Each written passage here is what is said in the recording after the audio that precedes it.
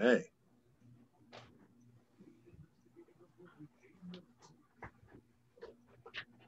The camera's on, by the way. Okay.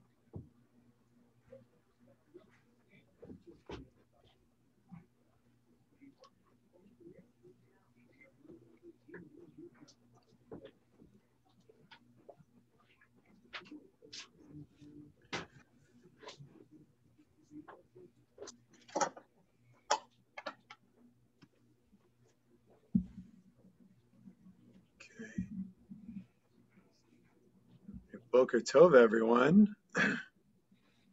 It's nice to have you all here. Thank you for joining us.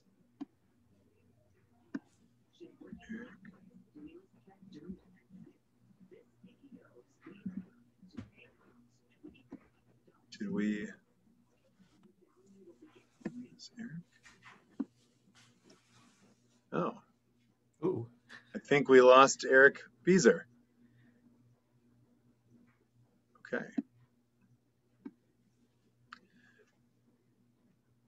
Boker Tov and good morning.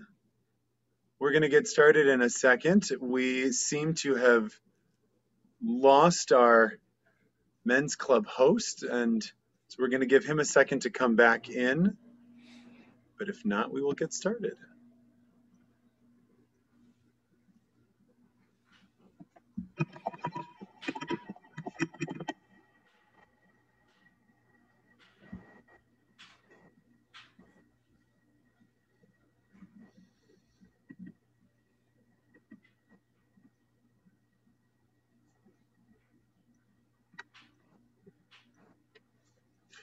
All right, well, we're going to begin. Hi, everyone.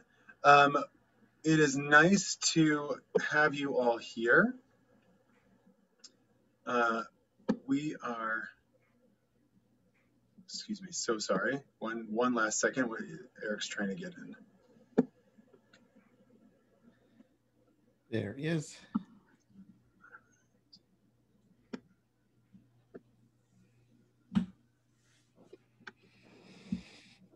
All right, Eric Beezer, would you please uh, do the honors of opening our program here? Okay, thank you. Uh, I'd, I'd like to welcome everybody to our Worldwide Wrap uh, uh, seminar. And I'd like to thank uh, the people who have been working with me uh, in this seminar. And uh, especially uh, Steve Dix and Norm Kurtz and Bob Watts from the Seaboard region, David Freeman from the Seaboard region and president of Sherry Torah, uh, and uh, Barry Oslick and Gary Brager and Michael Freilich. Uh, and um, and I'd like to thank um, uh, special thanks to uh, Rabbi Ethan Witkovsky. Without him, this program wouldn't be occurring. And to our guest speakers, Rabbi Jacob Blumenthal and Rabbi Ellen uh, Wolintz Fields, uh, who um, are going to uh, speak to us uh, today. And we look forward to hearing this program.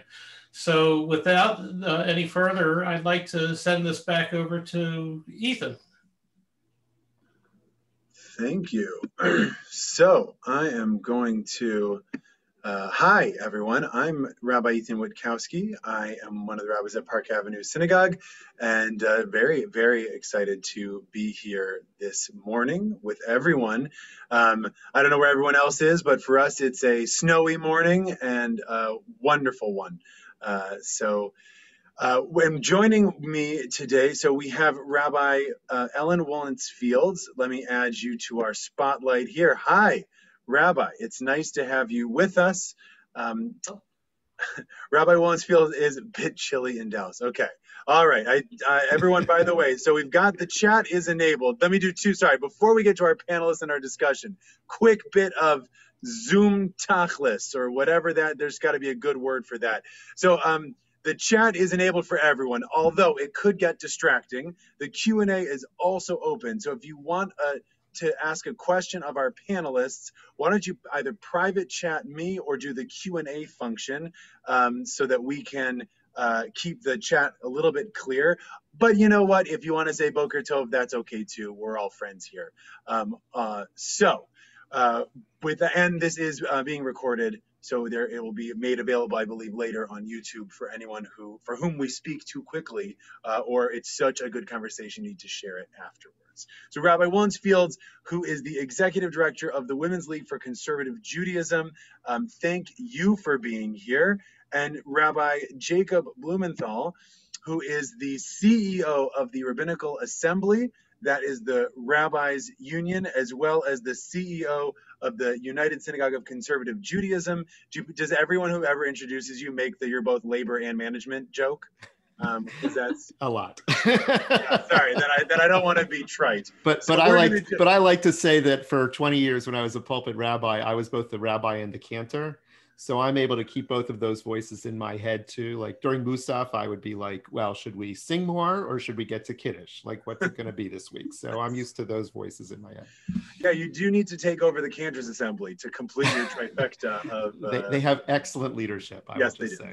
Um, okay, so before I get fired, let's uh, let's begin our discussion. We are here today to talk about tefillin, and I saw. We're not davening. The davening already happened. It was lovely davening. Um, the rabbis we, and I were still wearing our tefillin uh, because it's a good visual aid, and because this is how it once was. Tefillin wasn't just uh, you put it on in the morning and then you take it off. It was an all-day affair that you wore your tefillin. One could wear one's tefillin. Uh, so we are, you know, just living the ancient life right now.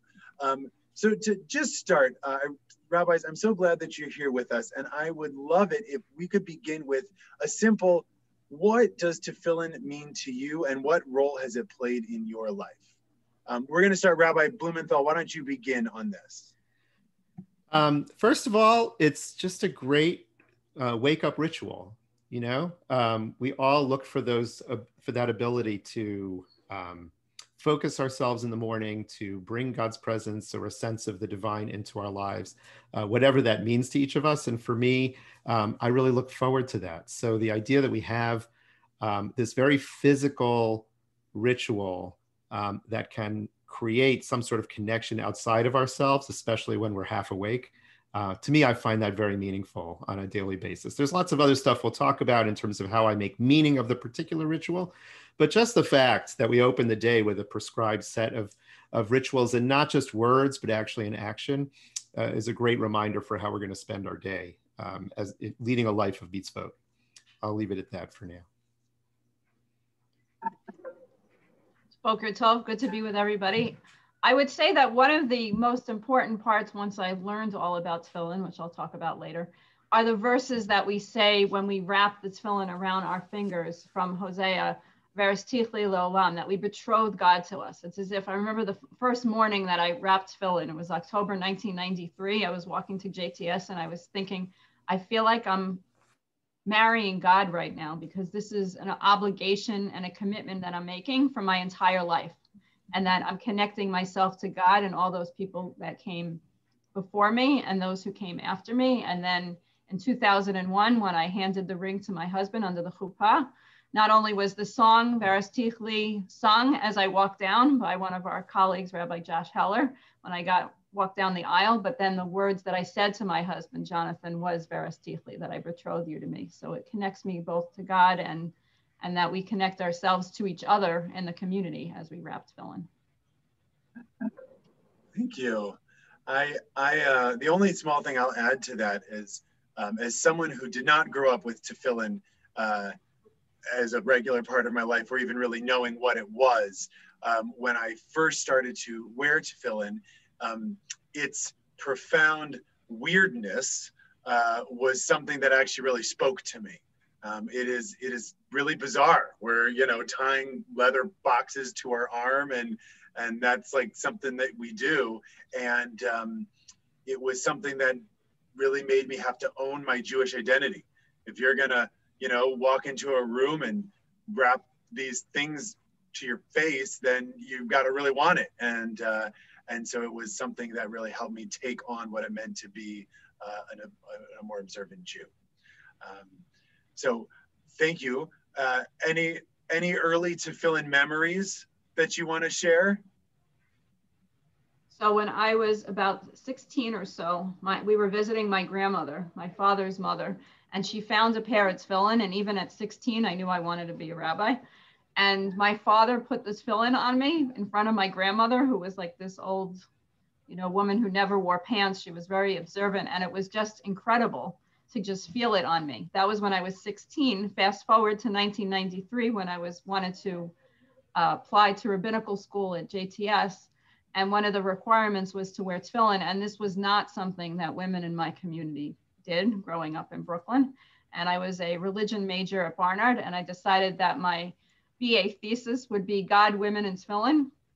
And I became, I started researching wearing tefillin I did actually started wearing tefillin and I researched at the same time. And now I could say that all these years later, most people who know me know that tefillin is my complete passion.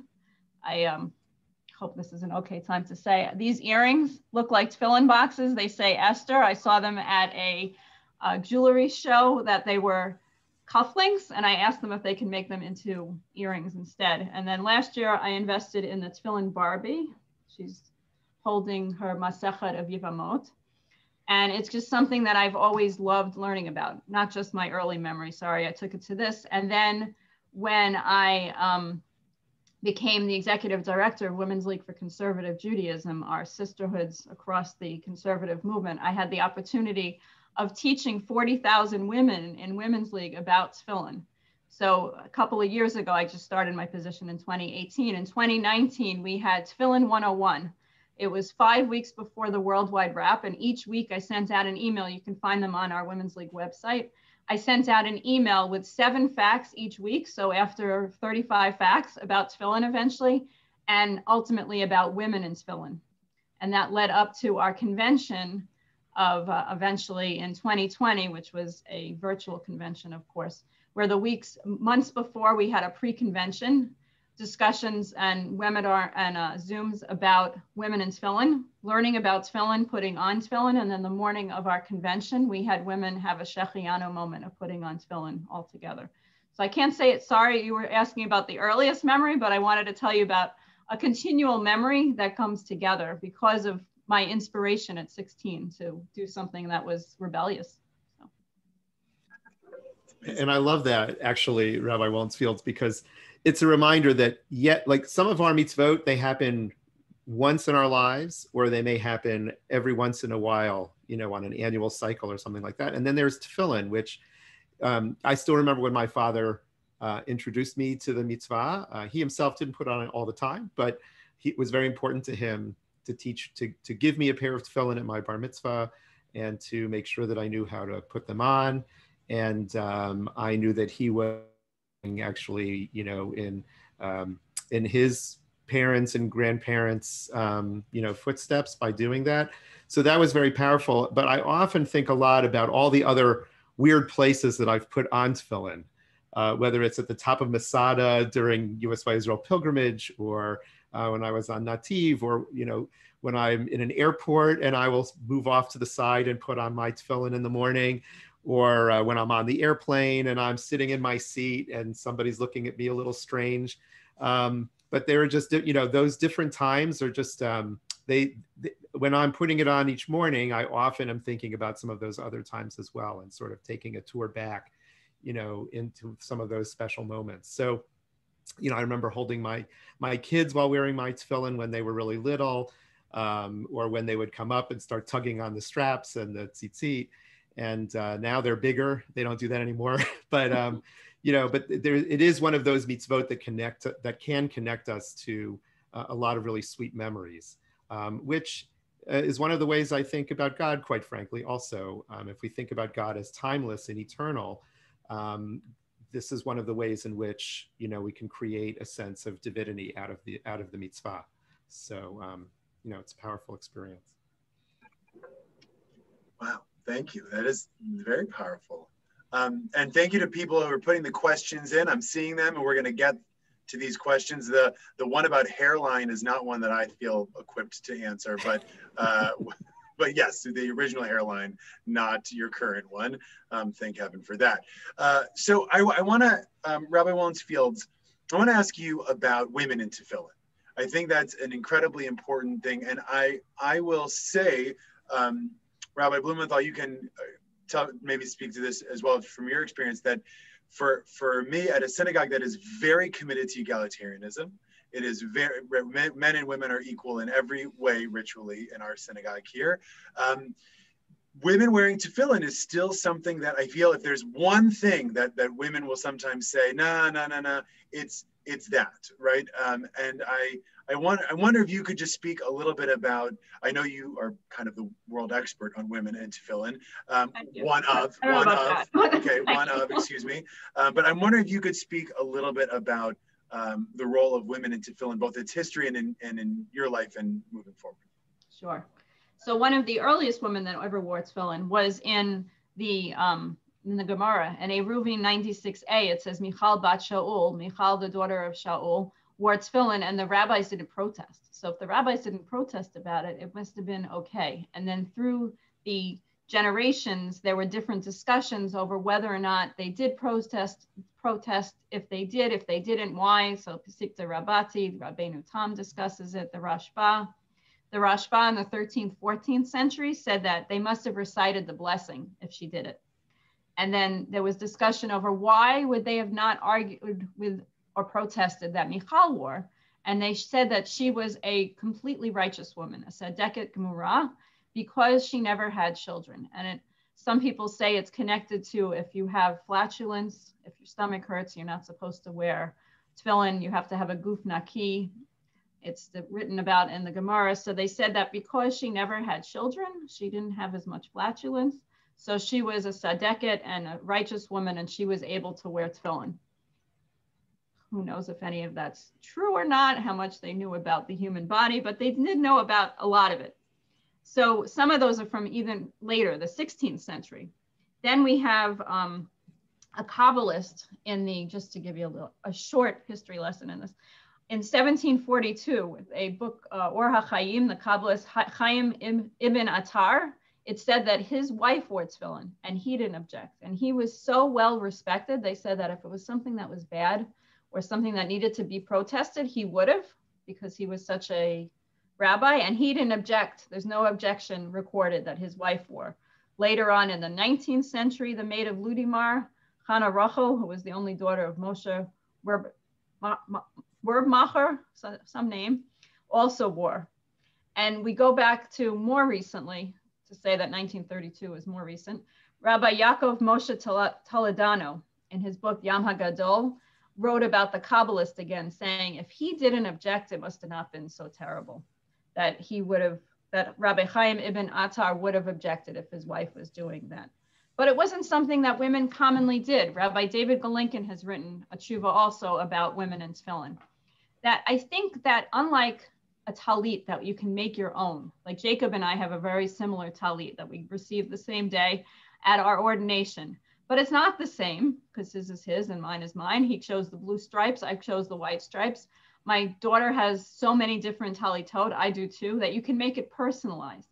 But tefillin's different. You can't personalize it necessarily, or not even necessarily. If you really want to be halachic, it has to be Torah Misinai that says in um, the Gemara and a minor tractate that the tefillin have to be black. They have to be made this way. They must be made from this materials. So you can't really personalize it. It's a real, it's a problem not only for someone who doesn't like wearing black or leather, especially. There are many people who don't want to wear it because it's leather, both men and women. It's uncomfortable at times. So it's not something, it's often, um, it's a visceral reaction. It just looks weird. It feels weird. So both men and women don't necessarily want to be wearing it. And then you think about our B'nai Mitzvah, the girls and the boys, we try to teach equally but they're at such an age that the tefillin don't come necessarily in a tiny size. So they get these big tefillin with these long straps that never stay on properly. They're uncomfortable. For my own son in 2019, I took my old set of tefillin where the retzuot, the straps were all soft already, and it got, gave me the opportunity to get a new pair myself.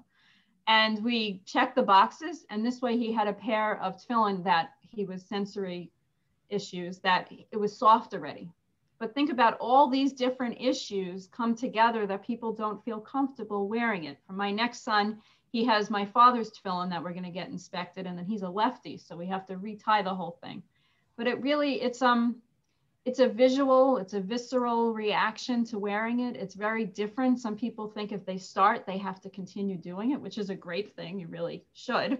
But if we think about it, for the boys that we teach at their B'nai Mitzvah, they often aren't reworn either afterwards. And sometimes the girls don't want to because they're like, well, I don't, I'm not going to continue doing this. And now with Women's League, with our women in that in another generation, not our children, they're learning that hey, this wasn't this wasn't something open to me when I was younger, but now it is. So I'm going to try it. Some have taken their husbands and their late husbands and their fathers tefillin and made it their own. And now women are passing it along to their daughters too. So I can tell you that I have uh, three children, thank God. And my oldest daughter, seven, who's 17, she started going to the Worldwide Wrap with me the minute she could. And when she turned her bat mitzvah was at 12. At 11, I gave her, she's the only one of my three children that got her own pair of tefillin. It wasn't a hand-me-down of recreated. And it's become her passion too. She goes to USY conventions and she teaches the kids how to put on tefillin, her, her, her friends. At Ramah Rocky, she used to. God willing, this summer at Ramah Sports Academy, she'll do that. So I'm I'm trying to not only teach my women at Women's League, but my own child that I have an influence on to teach the next generation to wear. She even, I don't know if at this point you wanted her to do it, but she created a, a wrap. She's a Hagalil Rel Ed, Cameron, and um, just to show, and, and she's one of, at least in my opinion, she's one of the cool kids. So if the cool kids can wear tefillin, then everyone hopefully will want to wear tefillin. So. I mean, you can't you can't mention a wrap and then not have a wrap. Okay. Are we are we gonna let's Hello. Welcome. It's so nice to have you joining us as a panelist. How are you today? I'm doing good. I'm happy to be here. Thank you. Excellent. We are very happy to have you. Thank you for taking time out of your busy schedule. I, I imagine of the three, four now panelists, you're probably the busiest of all of us because I know the schedule of teenagers today. So you wrote a rap about the about tefillin Yes, I performed it last year at our midwinter convention, which was really fun. It was in West Orange, New Jersey, I'm pretty sure. So shout out to New Jersey. Uh, all right, if you if you would, if you don't mind, we would love to hear this rap. Okay, so here we go. Hi, my name is Cameron. I'm here to talk about tefillin. It is important to me. I've been wearing them since age of 13. Since it's the worldwide wrap, I'm here to give this rap, break it down now. When I wear tefillin, it feels like I'm winning. This is because I have God wrapped around my arm. I put tefillin on. It's like tradition carries on, especially because it's something I do with my mom. Tefillin makes me feel like the Jewish people and I are tight. So today on Super Bowl Sunday, you should try them on. What do you say? Well, well, thank you very much, everyone. That's our program for the for the morning. Uh, we're good. wow. Mic drop. Yeah. Drop the, don't drop the tefillin, but drop the mic. Yes.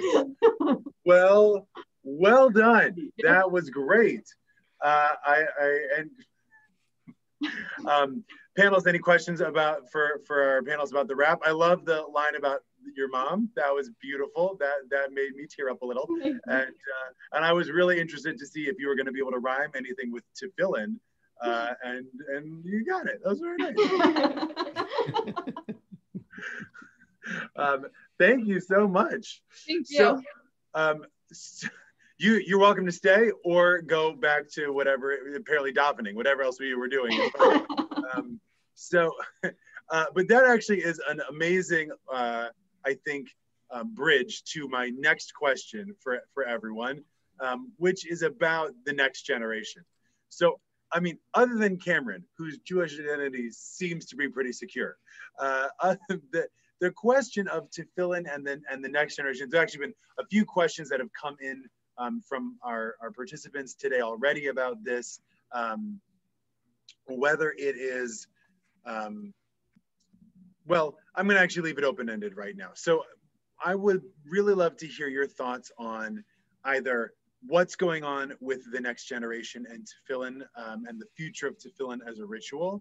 Uh, and then we might go from there into a more uh, specific what you have done or could see doing um, in your capacities as rabbis to to help you know promote the future of tefillin. Um, Rabbi Blumenthal, will you start us off? Sure. I mean, first of all, I do think there is there's a fascination I I have found. Um, you know, it's very interesting. A lot of folks in the next generation, sometimes in my generation too, they're fascinated by the idea of a tattoo. Um, the idea that something is really important to them, they should write it on their body. And of course, our tradition says that that's not the way it works. That we don't uh, we we don't need that our bodies are uh, made perfect as perfect containers for our souls, and so we don't we don't use tattoos as a way of marking them. But it's really interesting that we have this mitzvah tefillin, which is meant to actually um, be very physical and to actually mark our body with a sense of God's presence. The trick is you do it every day. Um, and it's actually renewed every day, right? Those marks that we get on our arms from wrapping the tefillin tightly, you know, um, sometimes I can still feel the tefillin, you know, sort of wrapped on my head for a certain period of time afterwards, you know, that, that sort of shadow feeling you get. So, and then it dissipates over the course of the day and then it's renewed the next day. Um, but I think it's meant to do actually what tattoos sometimes do for people to take something that's most important to them or their most important obligations or commitments and to or ideas and to imprint them on our bodies. So there might be some sort of opening first of all in terms of just talking about that. It, it's beautiful that um, that uh, people in every generation want to do that maybe we, we didn't we, you know we wouldn't approve necessarily of doing it as a tattoo although many of the myths about you know tattooing are not they're not so operative. So i just want to make that clear. But um, for anybody who happens to have a tattoo but the preferred way in judaism would be to, to make ritual work. Um, the other thing that i love about um, tefillin is that it is one of those ways in which we make um, poetry physical right? I mean, uh, so in other words, the, the rabbis had two choices when they had a verse like, you know, Ukshar Ayodchem, Vayula Totaphorben. right? They had two, when, when we have a verse like that that says you should, um, you, you should bind it on your arm and you should put it, you know, between your eyes. Um, they had two choices. They could have read it in a metaphorical poetic sense. They could have just said, okay, so we're going to, every day, we're going to take the God idea, morning and night, and we're going to make sure that we see the world through God's eyes and we act in the world with our hand, um, with our hands through um, through God's eyes, right? And actually, it relates back to the idea that we often talk about in Judaism and in religious life: head, hand, and heart. So we have head, hand, and then the this this box right points towards our hearts. And the ideal being we live both in the ways we think, feel, and act all of those things come together. By the way, that's a modern metaphor. Um, uh, the ancients thought that thought was really based in your heart. So, but right, but we, but they still would say we see the world, or in other words, we think, we feel the world, and we act in the world all through a lens of some sense of God's presence. And I think that that's something that we are always educating towards. Um, and this is a powerful ritual to be able to do that. And whether it's, as Rabbi uh, Wolintz Field said, whether it's one time in your life that you put on tefillin or whether it's an ongoing mitzvah, having that ability to um, see the world through this mitzvah, I think is really powerful. And actually, um, as a rabbi, I used Worldwide Wrap every year as an opportunity to do that. I would bring parents and our kids in. I taught sixth grade on Sunday mornings for 20 years. Every year, we would bring in our students and our parents and we would do an exercise together to explore this mitzvah. And um, and um, and I found it very powerful. And I have a, a, whole like sort of like catalog. I forgot to pull them together, but I have a, a whole catalog of every year having like you know a group picture of us um, of us putting on tefillin together. Um, and we would take group pictures and mail them, you know, and email them back out. And you know, and it's and it was very. I found it to be. I found it to be very powerful. And actually, um, a lot of the students, I think, even if they didn't want to commit to doing it, you know, every day going forward, they found it absolutely fascinating. You could tell it was it was interesting. Um, it connected them to something which was non-rational I don't like to say irrational, but non-rational, which is an important part of who we are. That's the poetry of life, um, is to do these kinds of weird, crazy things, um, and to live out, um, you know, as the rabbis decided, to not just live life as a metaphor, but to actually create physical forms of poetry through ritual that we also have to reinterpret every day. Um, so I think there's a lot, there's obviously a lot more we can do. I mean, we have, uh, we have a lot of opportunities at our disposal to use technology to help teach about the mitzvah. Um, you know, we have ways of being able to connect like we're doing today. We're discovering that we can connect people, you know, all across the world through doing these kinds of mitzvot. Um, so I know, and I'm, I'm waiting for, you know, TikTok tefillin to take hold um, because I would imagine that there are great ways that we can, um, you know, bring this mitzvah into the 21st century. So. So can I add a little bit? Sure, but can you just tell Cameron to get the TikTok tefillin account up and running? That would be great. I will. And it's funny that you say that because she does TikTok Torah. So as the So this is next someone someone wrote it on the chat that every every week for Hagalil she does Torah trivia thanks to Eliav Block over at Ramah Rockies used to have trivia at camp. So she turns it into a question and then she acts out something from the Torah portion each week. So I'm going to tell her that she needs to continue doing it with this. Um, that was one story that I wanted to tell you about. The other one was when my friend Rabbi Blumenthal was saying about the tattoo it brought back memories of years ago. I would go to minyan and then I would go to Curves in Lakewood, New Jersey. So Curves is a women's workout area and Lakewood is like the woman would come in in skirts and shaitels and they'd come out in their pants and they're like without their shaitels. So I was like the only non-Haredi there and I would be working out and I'd laugh to myself because I'm like, do these women know what I have like these marks on my arm? Because I'd come in like literally like five minutes after davening and I'm like, they might not see their men in their tefillin and I have these bizarre marks on my hands.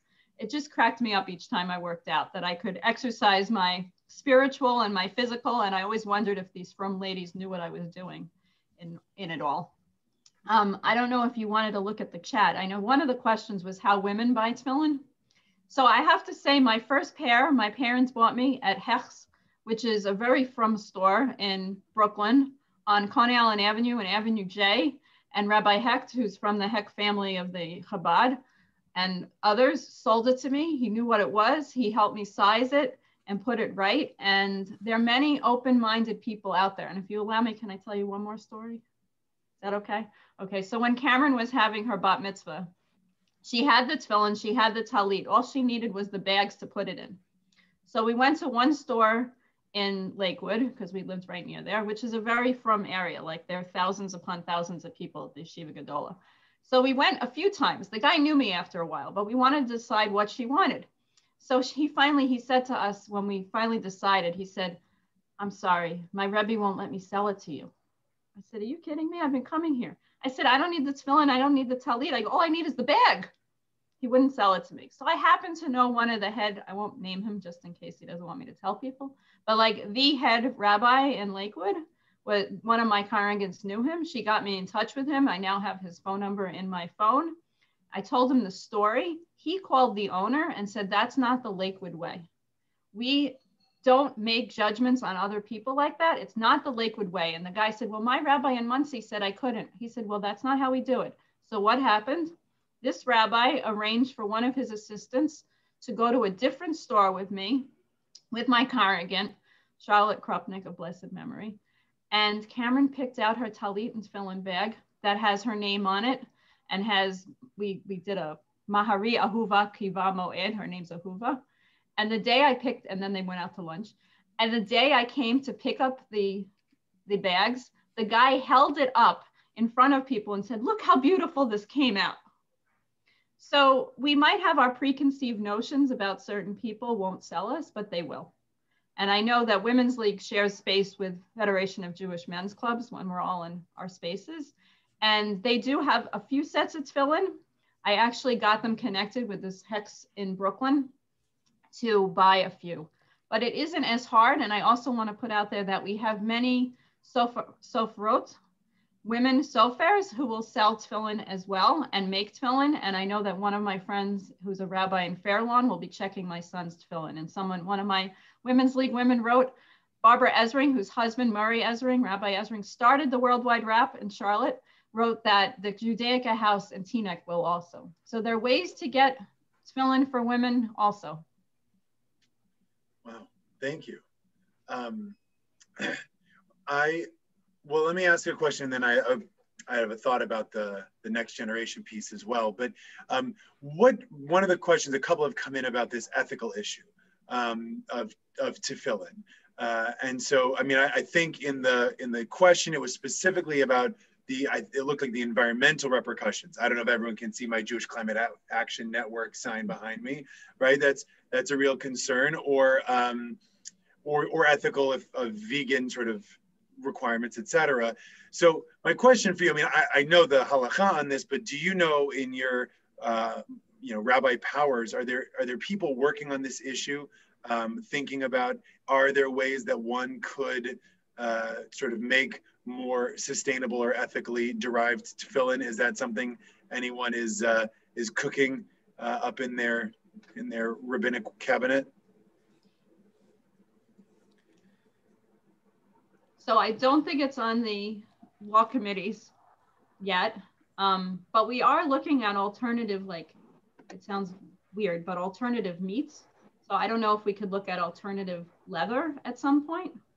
Like really lab grown leather.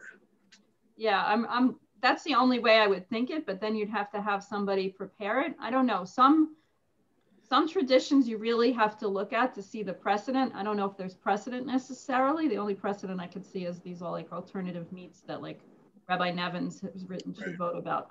What do you think? Um, I don't think that we were we're actively working on it. No. I'm not sure what the workaround is. What I've often talked about with my students and congregants is that um, the animals themselves are not being slaughtered for the sake of their skin for tefillin. They're being slaughtered usually for meat and in that sense, actually, we're making more use of the full animal by using it for this mitzvah, right? So, um, as you know, it would be good to have some way of knowing, for example, that it, that indeed the animal was not being slaughtered for the sake of the of the hide to be used for for this mitzvah. But the fact is, then we might use it because until we are all vegetarian, and the, I think the Torah actually does envision a world in which that's the case. But until that's the case, we will have animals that are slaughtered for the sake of their meat. And we can then use this to actually create meaning from it, even if we're not eating the meat. So, um, right now, I don't think it's actually creating the market. In other words, like the market is really being created for food and not for this mitzvah, and we can do it. But uh, you know, I know that, but uh, symbolically, that may or may not really satisfy everybody's, uh, you know, everybody's ethical uh, concerns. Um, you know, it, I would say also, look, it's an ongoing issue in terms of the, you know, putting up a mezuzah, in, ter- in terms of putting up, you know, using a Torah. All of those things require animal hides um, to be able to do the mitzvah uh, appropriately. And, um, you know, again, I, so I don't, I don't know that we're actively exploring a way around that because I don't think it's the dominant issue that drives issues like climate change. Um, but I think it's important to be aware of it, quite frankly. And I, you know, and I think we do hold it. And if anything else, it, it actually, um, you know, uh, we're not just using it as a handbag or a fashion accessory. And the fact that you can't accessorize your tefillin, they come in one model, black, you know, sort of uh, Henry Ford's, you know, ideal. um, I didn't know, know, that's what the T stood for in Model T. There, there you go. Perfect. I love it. So, right, it's our it's our Model T tefillin. So, um, you know, I think uh, I think it's a uh, you know. So I don't really I don't know that there's a really great way around it, uh, and it's very possible many people will see what I said as sort of ra- as, as a rationalization rather than explanation or. Um, but um, and I'm not sure that we're going to be so quickly. Uh, cre- I think we're the the the, the lab set the lab grown. Um, you know, uh, animal products are mostly going to be around food, I think, rather right. than around uh, the hide. So I'm not sure if that's a solution. Plus, you think that tefillin are expensive now. See the way to see the price tag on the lab grown uh, tefillin. But um, yes, thank you. Interesting. Right. Um, what one might do, by the way, is you know it would be interesting to um, to see if one could use the same animals that we, you know, there is an eco-responsible way to um, to eat, there, you know, a more ecologically responsive way to eat meat or environmentally responsible way to eat meat. Um, and we have a number of companies that are already engaged in that kind of work, right? You know, where the animals are um, they're eating grass and it's uh, and it's done in a way that preserves the environment, even enhances the environment. And um, it would be, but what we don't, I don't think is that fill it, the, the meat is often sourced from those operations, but the hides themselves, you know, may not be. I don't know exactly what that looks like. It would be interesting to see whether those operations could actually produce hides that we could use for many of our mitzvot. So that would be interesting to think about. So one could at least buy tefillin that were ecolog- environmentally sourced right. uh, in a responsible way. That's interesting. Um, so I wanted to return, and and we're gonna we're gonna veer towards the end in a section in a second. Um, but the the questions keep coming in, which is great. So they can please keep asking, and we'll we'll turn to that in a second. I just wanted to add one of the things that I feel about the idea of tefillin as a mitzvah. One of the reasons why the Worldwide Wrap is such an incredible program. So thank you to FJMC and WLCJ for their sponsorship of the Worldwide Wrap. Um, is it doesn't take any ed- education. I mean, it takes some education, but it's not. You don't need to speak Hebrew. You don't need to, uh, you know, have have too much background knowledge. Um, you might need someone there to help you figure out which you know pattern you're wrapping around your hand, etc. But um, in that sense, it's something that really everyone can do.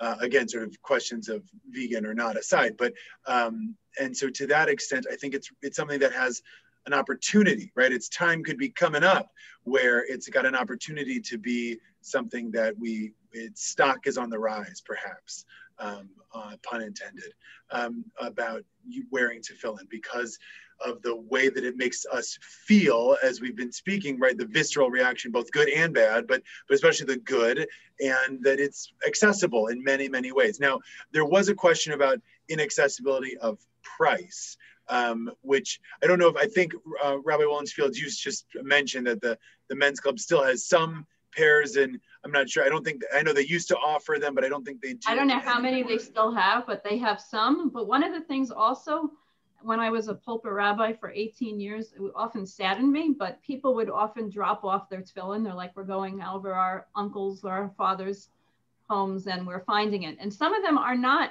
hustle. You can bring them to a sofer or a soferet and have them fixed and re redo them a little bit so that the price could come down. A couple of years ago, I believe when Rabbi Dave Levy was head of USY, there was a call out to try to get pairs of tefillin for some of the USY trips and the pilgrimage trips, like uh, mm. pilgrimage and and um, wheels. And I sent some tefillin sets over. But I really feel like if people look in their synagogues, there are probably some sets that can be reused a little bit and checked to see if they're kosher, which I think would also do the environmental help of um, of recycling. Right. Right, which or you is can just talk to yeah. Beth Judean and Long Grove. They've got sets to spare here, so uh, everyone okay, give, so and give, Oren, give by the way, I want to do a shout out. Oren was the original rap that my daughter learned from because Oren Rotman, at, he was one of my congregants in Beth Judea. He does a fantastic fill-in rap too. If you want to look it up, I think we have it on the Women's League website. Sorry, Rabbi Blumenthal, I interrupted you. Apologize. No, that's okay. It's this is a great conversation, and I would just say, first of all, it's interesting to think about recycled tefillin as another way of uh, of uh, of solving our ethical concerns. So that's really fascinating to think about. Uh, the second is people should talk to their rabbi. I mean, I would make sure anybody who wanted a pair of tefillin when I was a rabbi, when I was pulpit rabbi, I made sure that they had access, you know, were able to to get a pair. So. Um, and uh, and it might be worth it even for rabbis to think about how they could proactively start to talk about it. I will say I'm, there are some families where this is a concern. I know, but uh, for, I would also just say that um, oftentimes it's a matter of value. Like, what are people valuing? What do they want to spend uh, their their money on? And um, you know, it when a family is spending many thousands of dollars on a celebration for a bar bat mitzvah, I think they can probably spare the whatever it is, uh, 200 to $400 for a decent pair of tefillin for their child as well. um, or often I know that a parent or uh, that a grandparent or another relative is ready to sponsor that, you know, if asked. So it is a concern, and I know that we have families for whom it's a concern. I've had such families, and I've helped them. Uh, you know, in my role as a pulpit rabbi, and and at the same time, I think we one of the things we should be doing is really having our uh, our folks think a lot about what's really of value and what could be what could help make our uh, B'nai Mitzvah celebrations, you know, into something that's Jewishly meaningful. And this is um, and this is a piece of it. You know, um, it's often very powerful. One of my dreams, you know how we give out Kiddush cups and candlesticks for the B'nai Mitzvah?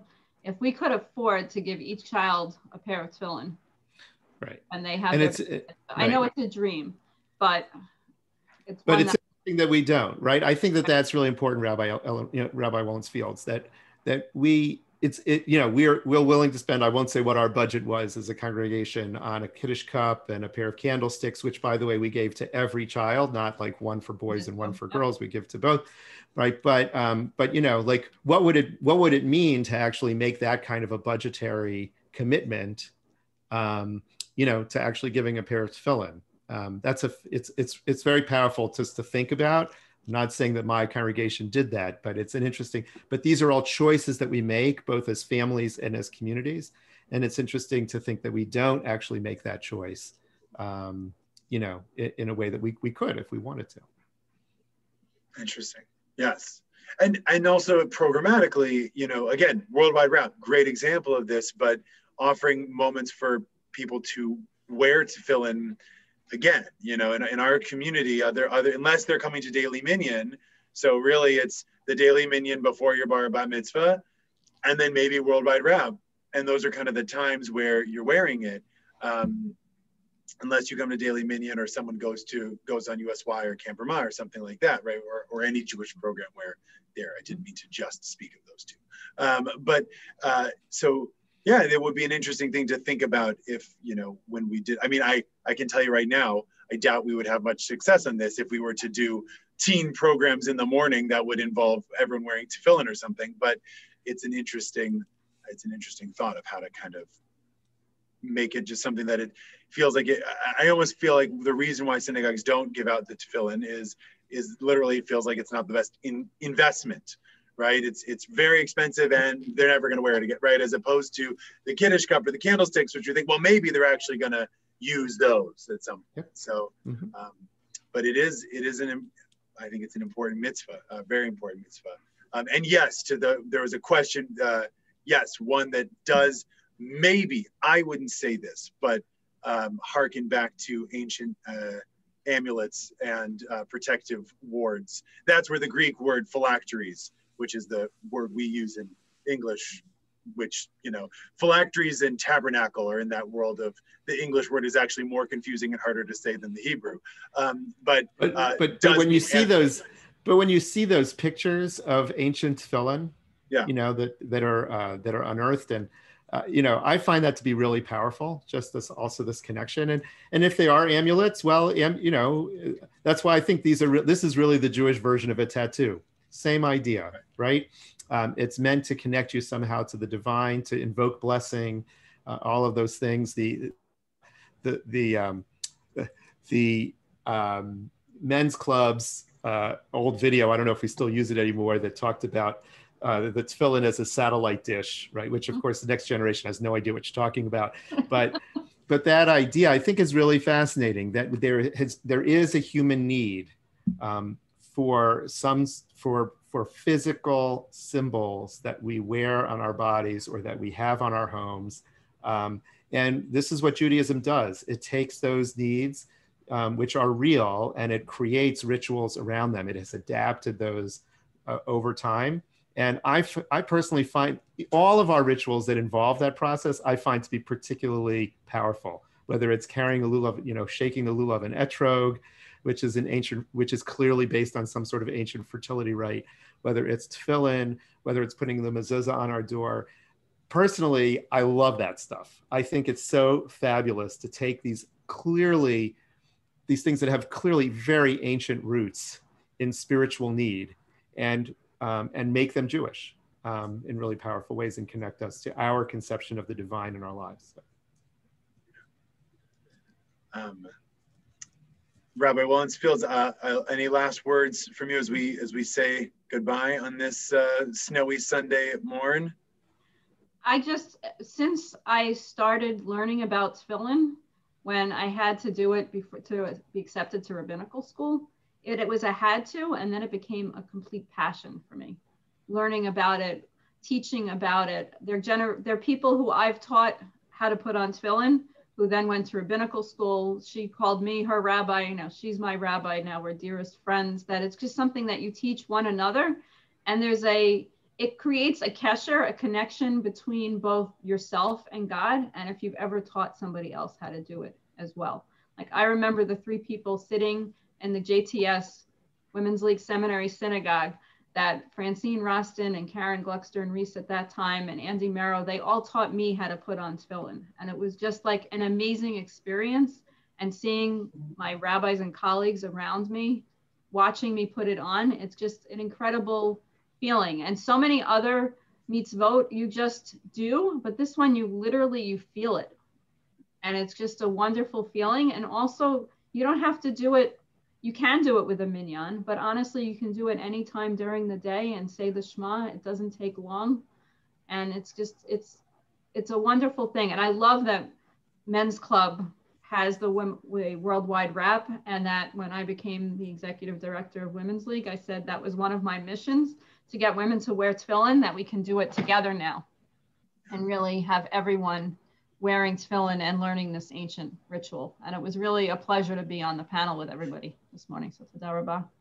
Thank you. Well, so I'm going to take the, I guess, I don't know, young guy, what the kids prerogative, whatever, current, only current pulpit rabbi prerogative to, uh, to, yeah, you guys can run your institutions, but I'll just, I'm still with the sixth graders.